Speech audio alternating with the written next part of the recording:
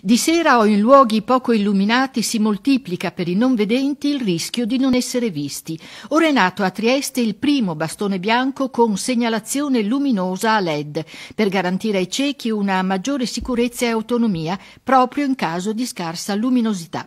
Si chiama Leti Smart Luce, è adattabile a qualsiasi bastone per ciechi ed è prodotto dalla Shen SRL sempre di Trieste.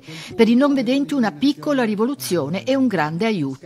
La presentazione in un incontro al caffè Tommaseo con l'inventore, il presidente dell'Unione Ciechi Trieste, l'ingegner Marino Attini. Questa tecnologia permette per la prima volta a un non vedente di essere visto, cioè c'è una segnalazione luminosa che non è una semplice luce ma è controllata da un microprocessore che durante tutta la giornata eh, segue tutte le attività della persona che utilizza il bastone e analizza l'ambiente e le luci che ci sono. Ho avuto la grande fortuna di poter eh, realizzare questo sogno che peraltro ho dedicato in memoria di mia moglie che si chiamava Letizia, anche per quello si chiama Letti, mi piace dirlo.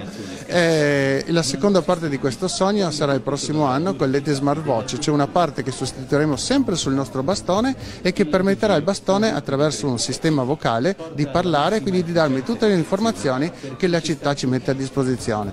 Il bastone luminoso sarà presto nei negozi e nelle sedi dell'Unione Cechi. Il presidente della società che lo commercializza, Diego Bertocchi. Dà il segnale di, eh, con tre bip, due bip e un bip se la batteria è più o meno carica e alla fine senza pulsanti e senza fili e la luce quando viene ripiegata si spegne.